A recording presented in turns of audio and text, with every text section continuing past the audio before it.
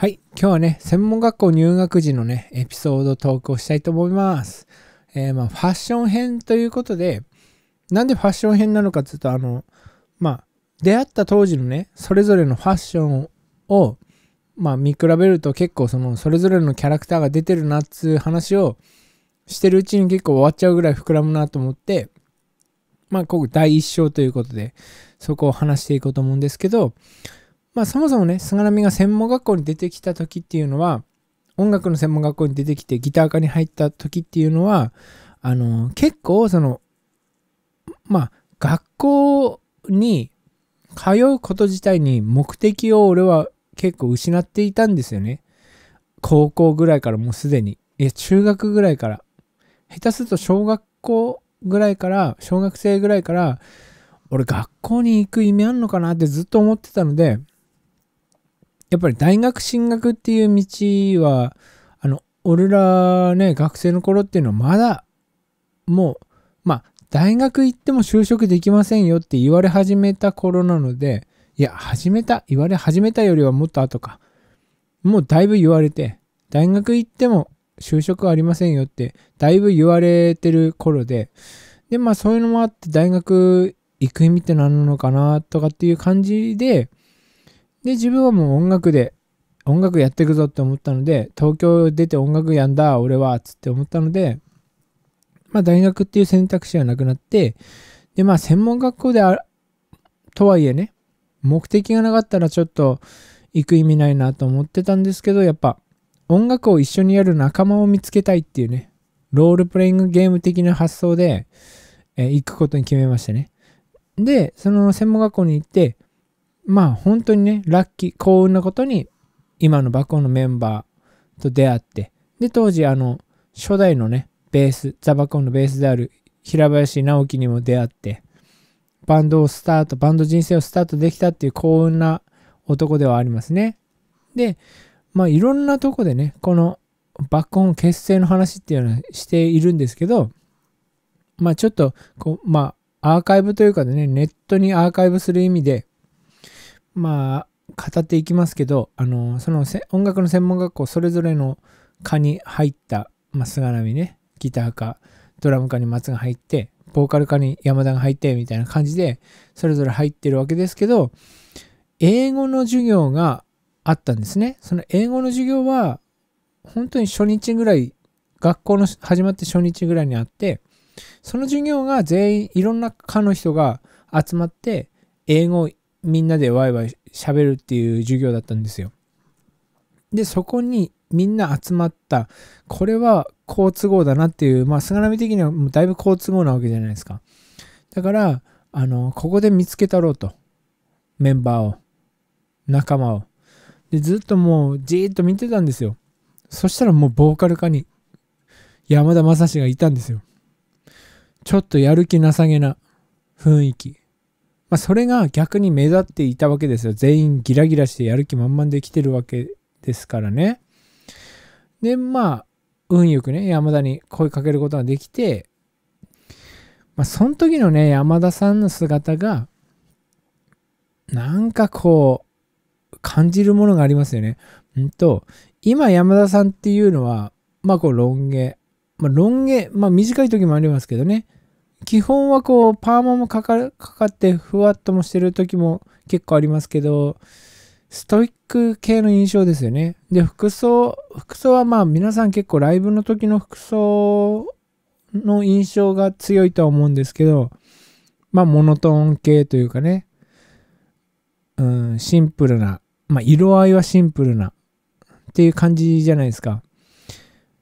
でも結構その出会った当時は全然印象逆にねその真逆とも言える服装見た目の服装で結構頭のパーマがもう思い切ったふわふわ感だったんですねまず。なんかちょっと爆発した感じっつうかなんつうんですかね。こうワシャワシャした頭。ワシャワシャした頭ですよね。そんな感じで。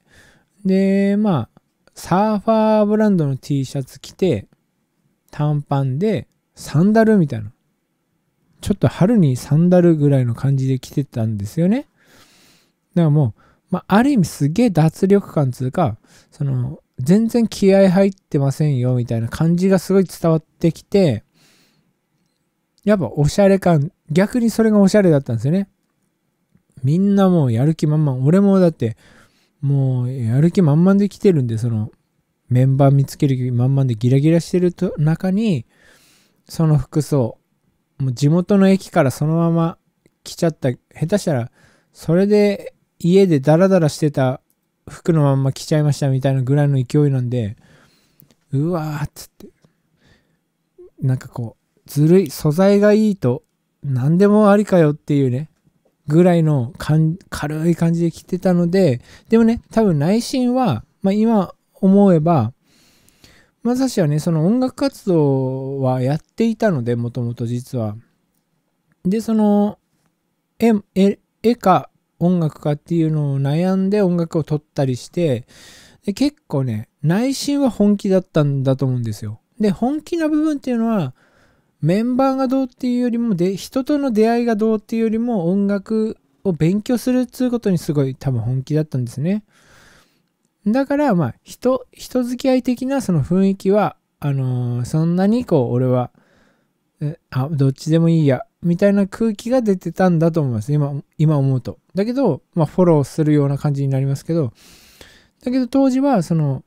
脱力感つか、そういう感じが、あやっぱり、ちょっとなんか都会っぽい、都会の人なのかなみたいな風に思ってはいましたね、俺はね。で、やっぱりこう、その対照的なのが菅波なんですよね。山田さんにこう、散々いじられますけども、え迷彩のね、シースルーのパーカー、薄手の、に、えー、短パン、ヒョウ柄の、あの、毛皮毛皮風ヒョウ柄の短パン。ちょっと暑暑苦しい短パンですね。で上はシースルーでスッカスカなので、こうプラプラスとマイナマイナスがよくわかんないですが、計算がよくわかんない服装なんですけどね。で、まあやっぱ、俺は目立ちたいみたいな、まあある意味すごい出てますよね。俺は目立ちたい。まあ俺を見つけてくれ。みたいなね。こう、主張が結構激しいタイプ服装だったなと今思うと思いますね。だからやっぱりそういう意気込みの差が、で、やっぱ福島から出てきてますよっていう。その意気込みは結構ありましたね。正直ね。だから、なんか、こう変なスイッチ入ってたというか福島人である俺福島人なんつうのかな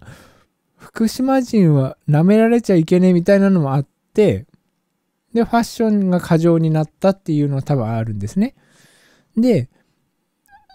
やっぱりこう同じ福島人である松ね。その日出会いますけどその同じ日にね出会いますけどこう松はそのきれいめのパンツにまあ、白いシャツ、そのパパキッとしたシャツ、白いシャツにローファー履いて、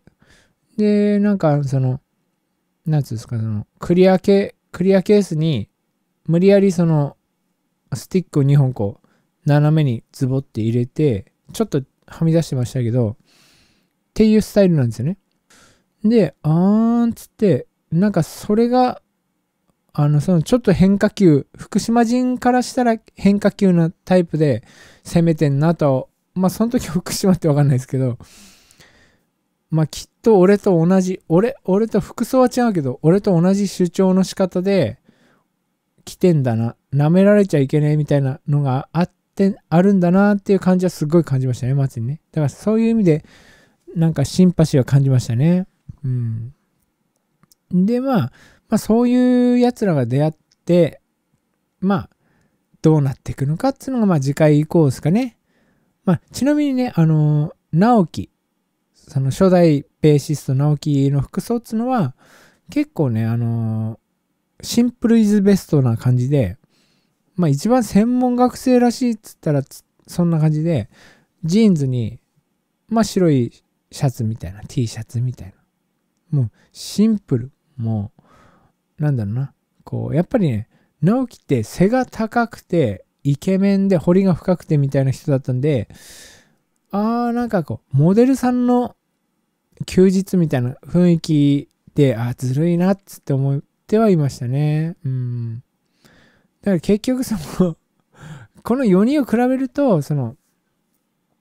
まあ、ある種の意気込み、意気込みがやたらこう過剰だった派、俺と松と、俺と松は、俺はその、ば多分メンバー見つめる見つけるっていうのに過剰だったし、松は多分その東京っていうことに対しての過剰さがあって、んで、まあ、直樹は神奈川なんですけど、やっぱ神奈川の人と茨城の人っていうのはやっぱり、ね、いい脱力感ですよね。ずるいなーっていう、あれですね。まあ今回そんな、そんな4人が結成するのかよっていう話からいきたいと思います。今回はそんな感じでした。ありがとうございました。